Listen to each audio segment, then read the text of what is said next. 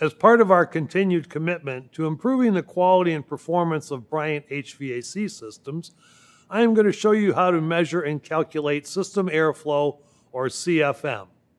In a previous video, we demonstrated how to take the airflow measurements.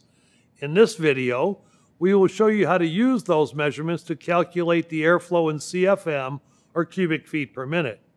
Calculating the CFM is a three-step process once you have completed your airflow measurements.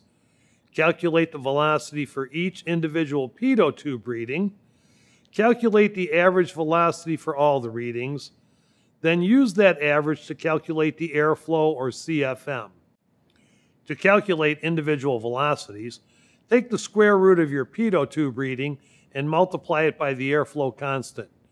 The airflow constant is 4005 and can be found in the air properties and measurement materials.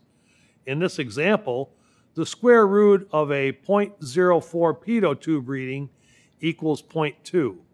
Multiply 0.2 times the airflow constant of 4005 and the velocity is 801 feet per minute.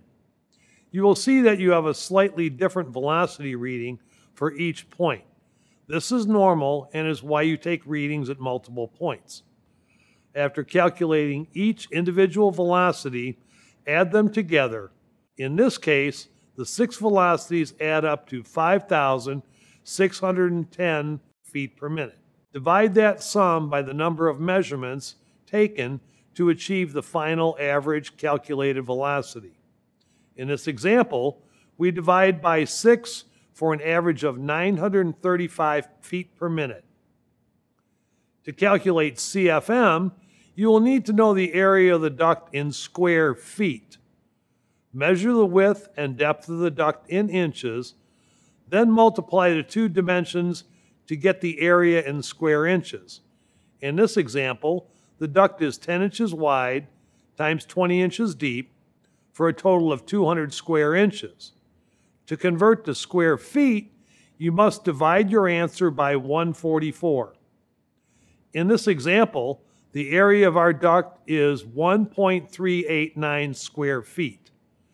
Now you can calculate CFM.